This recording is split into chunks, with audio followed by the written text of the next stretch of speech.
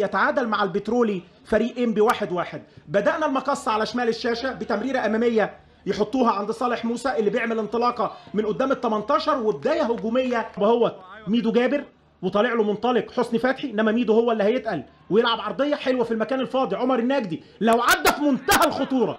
والرقابة موجودة جوه المنطقة من أحمد سامي وعبد الحميد سامي ورجع لهم كمان من وسط الملعب الطيب. ملعوبة في المرمى في منتهى الخطورة. مرة واحدة إنما محمود حمدي يطلع حسام عاشور.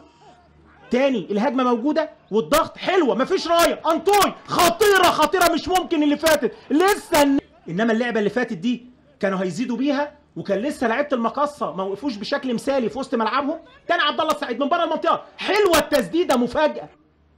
سعيد وصالح موسى رجله تقيلة شكله هيزقول. هل هيسحب عماد متعب؟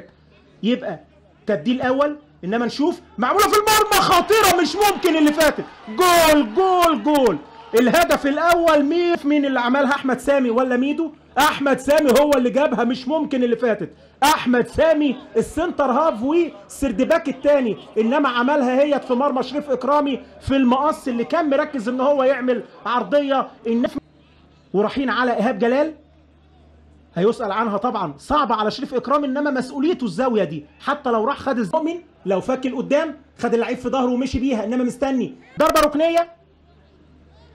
ولغاية ما ينزل أحمد سامي بيلعب 10 الفريق الفيومي. جوه 18 خطيرة خطيرة حلوة. يا عاشور وخرج حسام عاشور. الاثنين الكباتن اتغيروا. وليد سليمان حتى جوه 18 إنما ضربة الرأس بره الملعب. ما يطلعش.